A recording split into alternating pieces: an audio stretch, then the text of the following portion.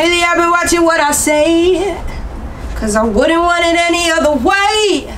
I could call a Uber, maybe pull up where you stay. Cause you seem to think I'm playing game. Woo!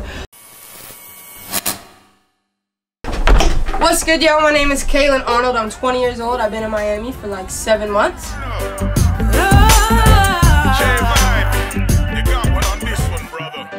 Far, I would say my experience has been super dope because a lot of very dope artists are from Florida, not just the 305, not just the 954 or the 786. Like, everyone is super far from different areas, so it's, it's a good gang to rep, you feel me?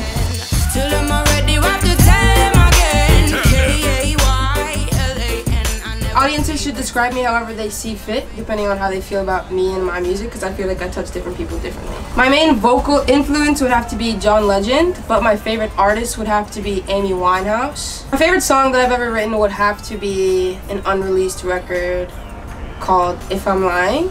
It's about, you know, when you argue with your significant other, but then you gotta reassure them that at the end of the day, the love is there, you know what I mean? I might be talented, but coming to Miami, it helped me realize that there are a lot of other very talented people. So I can't just not put in the work and have the talent because hard work beats talent when talent fails to work hard. So yeah, the creative uh, community in Miami is definitely very supportive of one another. And I feel like even though a lot of people are fixated on the numbers and the cloud and whatnot, we're not really too pressed about that. So it helps a lot as far as inspiration is concerned.